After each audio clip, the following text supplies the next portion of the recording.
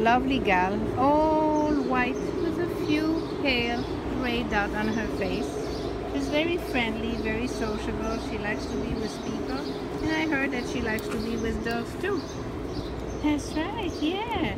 Doesn't like so much my treats. She spits them out very often. Come on, let's run. Come on, come on, come on, come on, come on. Come on, come on, come on, come on. She can jump very high for a ball, for treats. She's very friendly. Come on, come on, come on. All right, now sit. Sit down. That's right. She sit down for treats. That's right. Excellent. She's a good walker. She pulls a little bit on the leash. That's her business. Or in the yard or in the street. Yeah, she has a very beautiful smile.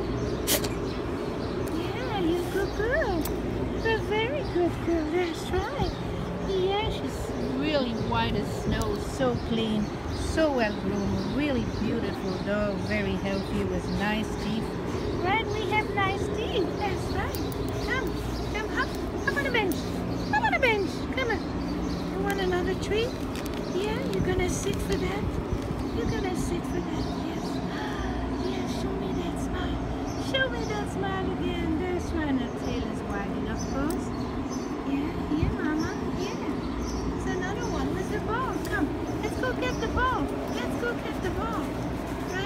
Okay, come. Come here. Come on, go, go, go, go, go, go, go, go, go. A lot of dogs run after the ball, but they don't really catch it or bring it back. I mean, I'm sure she can learn. She's a young dog.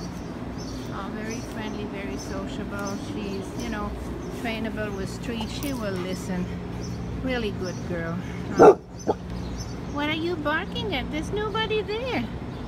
Not even a caterpillar. This is Miss Aretha here at the Manhattan Care Center. The young girl waiting to be yours. What?